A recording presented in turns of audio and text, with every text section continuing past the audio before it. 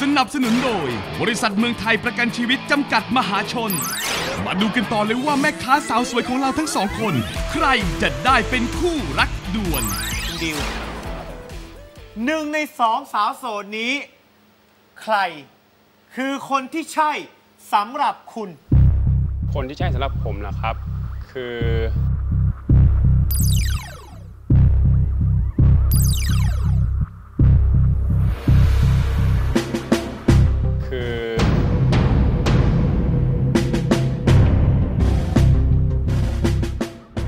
คุณฝ้ายครับคุณฝ้ายทำไมคุณดิวถึงเลือกคุณฝ้ายครับ ก็ด้วยความที่เขาเป็นคนดูเลิศดีฮะ ดูเขาคนเป็นคนหัวเราะเยอะดี ครับผมก็อยู่ด้วยกันคงสนุกสนานฮะ ตอนนี้คะแนนเสมอกันแล้วคุณฝ้ายกับคุณ BM 1 ต่อ 1 คนที่จะตัดสินนะครับว่าสาวโสดท่านใดจะผ่านเข้าสู่รอบต่อไปก็คือชายโสดท่านสุดท้าย คุณแฟรงค์หนึ่งในสองสาวโสดนี้ ใครคือคนที่ใช่ สำหรับคุณ คนที่ใช่สำหรับผมนะครับ คือ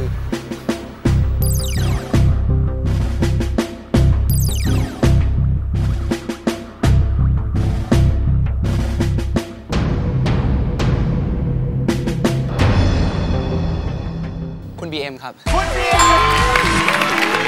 ทำไมคุณถึงเลือกคุณ BM คุณ BM คือแบบผมชอบในการพูดของเขาการนำเสนออะไรในตัวของเขาอะไรออ๋อย่างเงี้มายแนวมาแนวแบบนี้ เพราะฉะนั้นแล้ววันนี้ก็ต้องขอแสดงความยินดีด้วยนะครับ วันนี้คุณ BM ผ่านเข้ารอบไป แต่ต้องขอดูใบหน้าที่แท้จริงครับ ของทางคุณฝ้ายหน่อย คุณฝ้ายช่วยเปิดหน้ากากช้าๆให้พวกเราได้ดูหน่อยได้ไหมครับ เชิญครับช้าๆนะครับ โอ้โหโอ้ตับ ไปเดี๋ยวใครเอาหนังกระติกไปรัดไว้ที่หลังหัวอะฮะหนึ่งสองสาม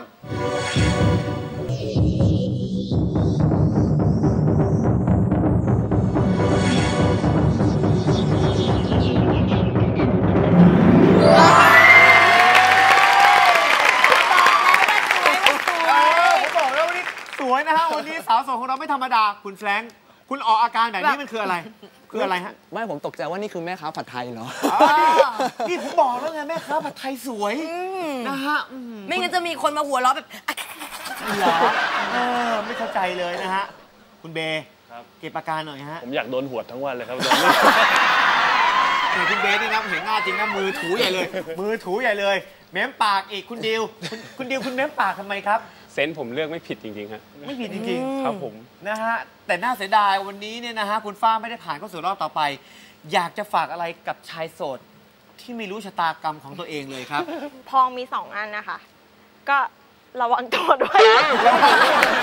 วันนี้ในการรักด่วนฟ้าเลิฟต้องขอบคุณคุณฝ้ายนะครับ ที่มาร่วมสนุกกับทางรายการนะครับ ขอบพระคุณมากนะครับ ขอบคุณค่ะ อือหือ สวยน่ารักขนาดนี้ออกไปจากรายการ ผมว่าหนุ่มๆต้องมาอุดหนุนเยอะแน่ๆแม่ขาเขาสวยขนาดนี้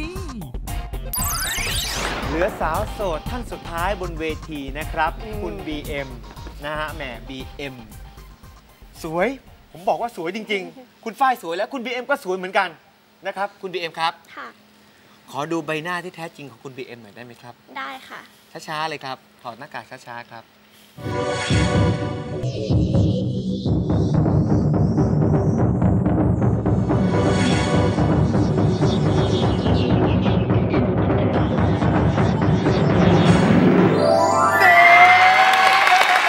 อ้โห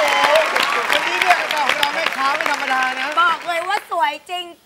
สวยจริงนี่แม่ค้าขายเสื้อผ้ามือสองนะฮะ ๆ ตอนแรกเนี่ยหน้าสามหนุ่มอะคือเครียดมากอะครับ ว่าหน้าจะออกมาเป็นยังไงคุณดิวเนี่ยเครียดจนขนาดที่หน้าเป็นอย่างนี้ค่ะ แบบเดี๋ยวเดี๋ยวปากไปไหน ดิวเป็นยังไงเห็นเห็นหน้าตาแม่ค้าเราแล้ววันนี้คุณ BM เนี่ยอืมรู้สึกอยากขึ้นไปนั่งเบาะ BM Series 5ฮะอยากจะขับทันทีเชียวนะฮะคุณแฟรงค์ครับ เป็นยังไงคุณคุณ เขินครับเขินนะครับผมเขินก็เลยสวยคนละแบบครับอันนั้นคก็นละแบแบบบ เซ็กซี่อะไรเงี้ยครับอันนี้ก็จะแบบออกกลมๆนิดนึงอะไรเงี้ยคุณเบย์รู้สึกยังไงบ้างครับ เห็นใบหน้าที่แท้จริงของคุณ BM แล้ว ปกติที่บอกว่าเลือกไม่ถูกมาตลอดนะฮะ ตอนนี้ผมคิดว่าผมเลือกถูกคนแล้วฮะ ตั้งแต่แรกเลยนะฮะใช่ครับ ย้ำอีกครั้งหนึ่งคุณ BM คุณขายเสื้อผ้ามือสองที่ไหนนะฮะ เอ่อขายอยู่ตรงใกล้ๆกับช้างสามเสียนนะคะ ตรงตลาดนัดอุดมเดชค่ะ เพราะฉะนั้นแล้วไปอุดหนุนได้เลยหนุ่มๆ คุณหายใจเข้าออกแบบลึกๆเลยนะฮะ หายใจเข้าลึกๆ หายใจออกยาวๆนะฮะแย่แล้วเหมือนกับว่าคุณจะไม่ได้หายใจอีกแล้ว เพราะว่าก่อนหน้านี้เนี่ยนะครับที่พวกคุณทำการเทคะแนนจนทำให้คุณ BM นั้น เป็นสาวโสดที่ผ่านเข้าสู่รอบต่อไป มาถึงตอนนี้ครับ เกมเปลี่ยน ก่อนที่คุณ BM จะทำการเลือกชายที่เธอไม่สเปคที่สุดทิ้งไปนี่นะครับ พวกคุณอยากจะกล่าวอะไรกับคุณ BM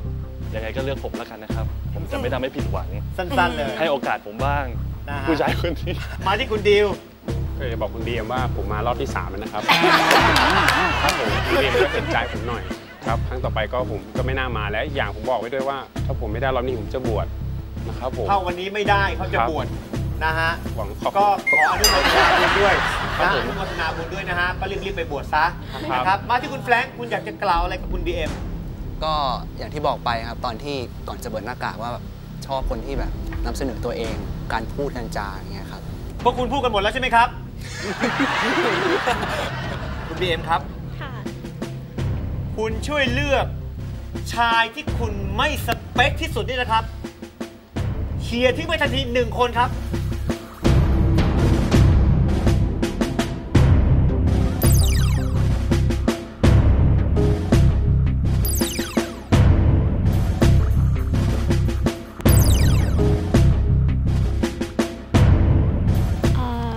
ขอเลือก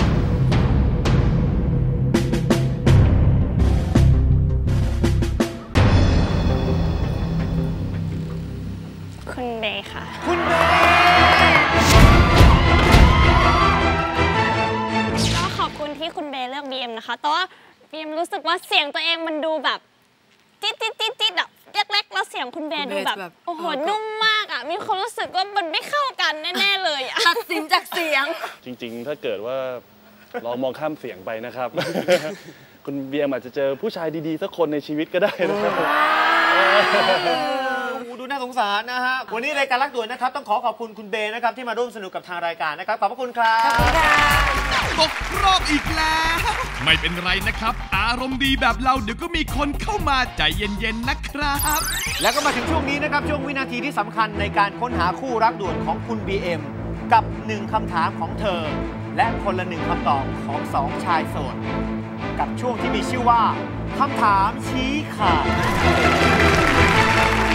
BM ครับ เชิญตั้งคำถามได้เลยครับ ค่ะ ก็อยากจะถามทั้งสองหนุ่มนะคะ ก็คือช่วงต้นรายการเนี่ย BM ได้สาธิต วิธีการปฏิบัติแฟนไปแล้วนะคะ อยากจะถามทั้งสองหนุ่มกลับบ้างว่า ถ้าเราได้เป็นแฟนกันเนี่ย ทั้งสองหนุ่มมีวิธีการนะคะปฏิบัติ BM หลังจากที่ BM เนี่ยขายของกลับมาเหนื่อยๆอย่างไรบ้างค่ะ เริ่มจากคุณแฟรงก์ก่อนละกันค่ะ ครับผมก็ในส่วนของผมนะครับกลับบ้านมาเหนื่อยๆอะไรอย่างเงี้ยนะครับ ก็อยากที่จะ คุยกันอะไรอย่างงี้ว่าเออคุณเป็นอะไรคุณมีปัญหาอะไรที่ทำงานหรือเปล่า หรือว่าคุณเหนื่อยไหมคุณทำอะไรมาอะไรอย่างเงี้ยครับคืออยากที่จะคุยกันก่อนอะไรเงี้ยแล้วก็อาจจะมีแบบว่าคุณต้องอยากให้ผมทำอะไรให้ไหมคือต้องถามเลยว่าแบบคุณต้องการอะไรไหมอยากที่จะแบบคุยกันหรือเปล่าอะไรเงี้ยคือแบบอยากที่จะคุยกันมากกว่าอย่างเงี้ยครับมาอีกท่านหนึ่งคุณดิวครับ เชิญครับ ก็ถ้าสมมติว่ากลับมาจากขายของนะฮะสิ่งแรกที่ผมจะทำก็คือถามถ่ายก่อนว่าเออขายเป็นไงบ้างสมมติว่าขายไม่ดีไม่เป็นไร เราก็ปลอบใจว่าไม่เป็นไรวันนี้เราได้ทำงานแล้วพรุ่งนี้สู้ใหม่ทำใหม่นะครับผมพรุ่งนี้ยังไงก็ดีขายของยังไงมันต้องมีวันได้ไม่มีวันแบบไม่ดีตลอดเวลาใช่ไหมฮะก็อาจจะมีบ้างที่แบบคุณอยากกินอะไร ผมซื้อเข้ามาให้ทำให้รอนะครับผมครับขอบคุณครับ คำตอบทั้งสองท่านหนุ่มโสดนี่นะฮะก็ไม่ธรรมดาจริง ๆ ในวันนี้เนี่ยนะครับ แต่ผมไม่รู้ว่าด้วยคำตอบของหนุ่มโสดท่านใด จะสามารถพิชิตใจของคุณ BM เป็นคู่รักด่วนของคุณ BM ในค่ำคืนนี้ไปได้ เราจะพักกันสักครู่หนึ่งก่อนนะครับ แล้วเดี๋ยวช่วงหน้าเราจะกลับมาตามหาความรักของคุณ BM กันครับ ในรักด่วน Fast Love